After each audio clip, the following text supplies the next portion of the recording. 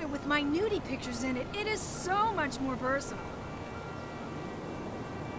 Oh!